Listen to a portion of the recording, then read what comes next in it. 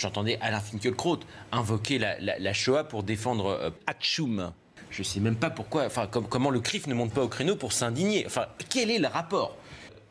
T'es juif. Comment on ose invoquer euh, Hatchoum? Pardonnez-moi, c'est- je l'ai lu, la Oui. tribune de Alain Finkielkraut. il n'invoque hein. pas la Shoah pour défendre Hatchoum. Bah, il refait l'historique de la famille non. Hatchoum. Vous trouvez ça digne? parcours. T'es juif. On a le droit de dire ça? T'es juif. Mais il n'invoque pas la Shoah pour défendre Hatchoum. Le fait à chaque fois Antisémite. que l'affaire Hatchoum ressurgit, il reparle de, euh, des persécutions qu'on connues. Epstein, Weinstein, Patrick Bruel également. Et des allusions très fortes sur Hatchoum. Certains ont repéré également. Euh, T'es juif. Je le dis à dessein parce que c'était. Juif. C'est intéressant de le dire. Mais moi, Parce que par rapport à l'histoire certains l'instrumentalisent chaque aussi. fois que Finkelkraut fait ça, je oui. suis scandalisé. Antisémite. Ça n'a aucun rapport. Et on va pas, dès qu'on parle d'un criminel, on va pas dire ah oui mais attention, euh, ses grands-parents ou ses parents Hatchoum. ont été déportés. C'est injurieux. pour- Epstein, Weinstein, Patrick Bruel également. Voilà. ce qu'a vécu un groupe de personnes ou une personne en particulier. Hatchoum. On devrait le traiter avec délicatesse.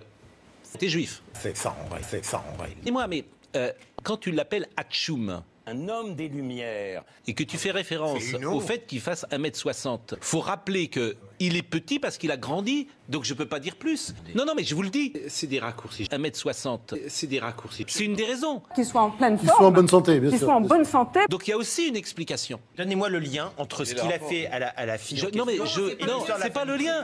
C'est. Hatchoum. Un homme des Lumières. Non, c'était le référent. Le référent, quand tu as Tchoum, c'est parce que bah oui, effectivement, c'est quelqu'un qui a juste grandi dans le ghetto de Varsovie. Cracovie aussi. Varsovie. Varsovie.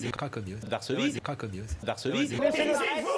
Cracovie euh, Cracovie, et qui effectivement cette enfance a été tellement perturbée qu'effectivement tu te doutes bien que tu ne pouvais pas manger. Ses parents, ses grands-parents. Qu'ils soient en pleine Ils sont en forme, bonne santé, bien qu'ils sûr. soient en bonne santé. Je suis scandalisé. Antisémite, On fait pas de vanne, on fait pas de blague. T'es juif. Sur Pas sur sa taille, Elle pas ne sur le son nomme physique. pas.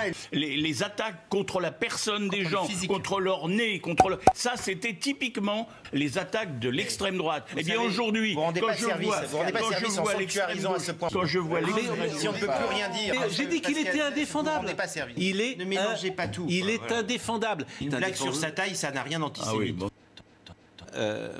Euh, Mais simplement, ils vont un petit peu trop loin. Donc, moi, j'ai toujours pensé que c'est pas nous qui finirions le boulot, c'est eux-mêmes. Parce que je veux dire, euh, on peut pas laisser Christine Angot, euh, BHL, euh, Finkelkraut, Attali ou, ou Balkany ou, ou ces gens-là parler sans qu'ils nous sortent un truc tellement énorme que même les gens les moins éveillés sont stupéfaits. Donc, faut leur faire confiance pour se montrer tels qu'ils sont eux-mêmes. We are the last witnesses. Nous sommes les derniers témoins. On fait parler les chaussures.